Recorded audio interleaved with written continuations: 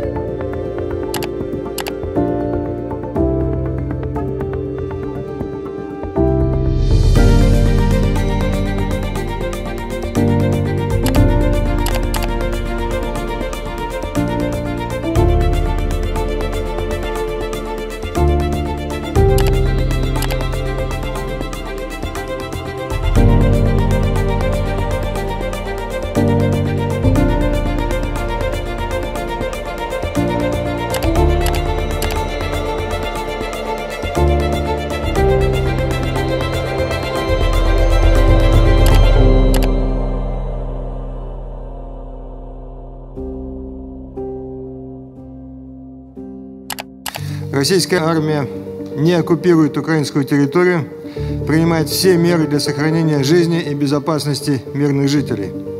Подчеркну, что удары наносятся только по военным объектам и исключительно высокоточным оружием.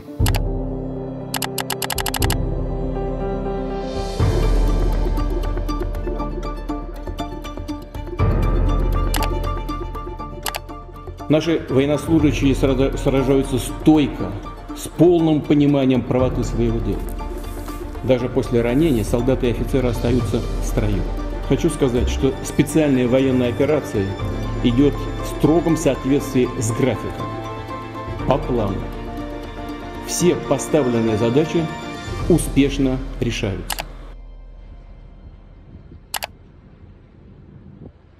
Ой, у лузі червона калина похилилася. Чогось наша славна Україна зажурилася, а ми тую червону калину підіймемо, а ми нашу славну Україну